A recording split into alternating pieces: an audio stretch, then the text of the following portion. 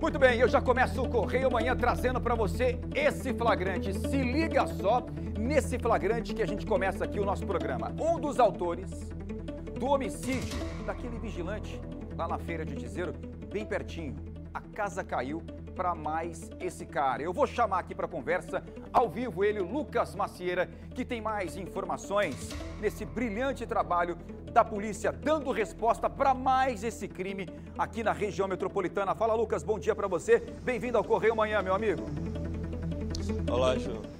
Olá, João. Bom dia para você, bom dia para todo mundo que acompanha o Correio Manhã. Uma resposta muito importante, inclusive a Polícia Civil aqui da Paraíba já identificou quem são os dois suspeitos de ter cometido esse assassinato contra o vigilante, né, na última terça-feira, e também o carro que eles utilizaram.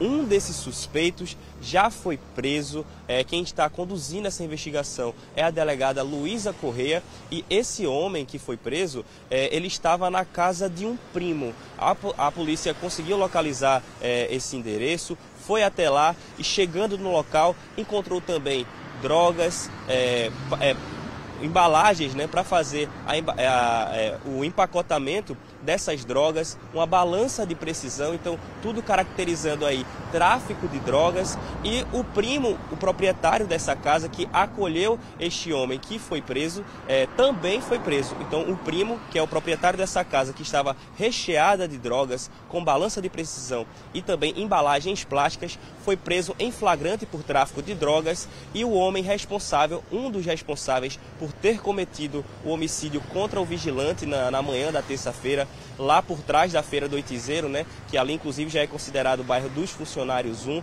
Esse homem também foi preso. Com ele foram encontradas, é, foi encontrada uma quantidade de droga e também munições do mesmo calibre que foi utilizado para matar o vigilante. A gente lembra, né, só repassando esse caso, para quem é, não vem acompanhando a nossa programação, nós repercutimos desde os primeiros minutos após esse acontecimento, na manhã da terça-feira, lá na Feira do Itizeiro. Esse vigilante estava caminhando na calçada quando um carro com dois suspeitos se aproximou e efetuou vários disparos. O vigilante chegou a correr para frente de uma conveniência que tem ali é, por trás do mercado e dentro dessa conveniência, inclusive, estava uma criança, um menininho de 7 anos de idade que, por causa dos disparos, foram ouvidos mais de 10 disparos. Ela chegou a ser atingida é, por uma bala perdida de raspão na perna, foi socorrida às pressas pelo, padra, pelo padrasto, pela mãe, é, mas como foi, foi apenas um ferimento superficial, recebeu os cuidados médicos e recebeu alta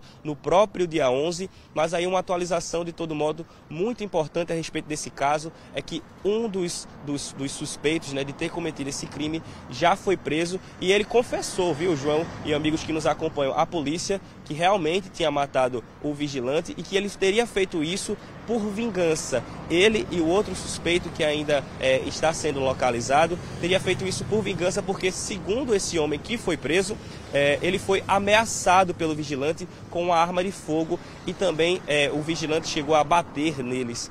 Essa aí foi a justificativa que ele utilizou para tirar a vida deste homem, deste vigilante que foi morto na manhã de terça-feira. E como você bem disse, a polícia já vem trabalhando e já trouxe uma resposta importante à sociedade a respeito desse homicídio, João.